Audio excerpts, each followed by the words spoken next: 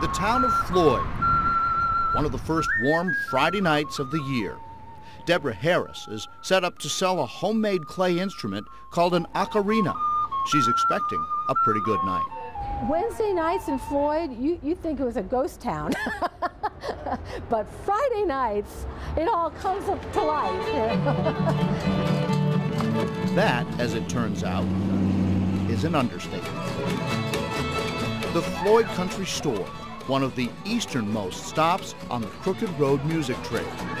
It's an eclectic mix where overalls and country kitsch meet an underlying sophistication that's hard to define. It draws people from all over the place, visitors, locals, young people, and uh, people from, you know, the alternative community. It, it's kind of the one place I've ever been that really knits a lot of different interests together. This night, the store is hopping. It's $5 a seat to get in. Not that everyone needs one.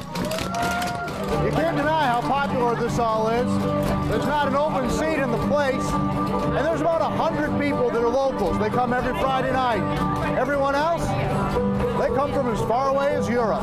Crenshaw is willing to give away a hat to prove We like to present a gift to the person who has arrived here tonight from the furthest away. Alaska, Italy, China.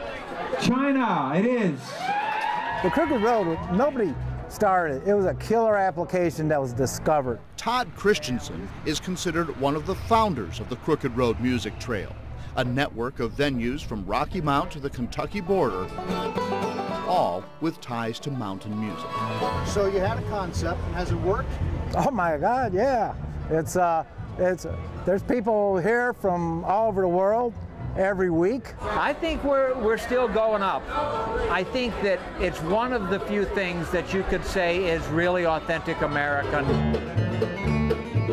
Authentic seems to be the key. During our interview, a jam session starts on the steps across from the store. No one is paying them to play. This is their Friday night. And then, at the barber shop, next to the Floyd Country Store. Without a word, oh, you call us home. The musicians are as much a part of the crowd as the people who come to see them. The same could be said for the flatfooters, who need the music to dance. Well, I think it's it's pretty much the real deal. It it has organically just grown. We haven't tried to steer it.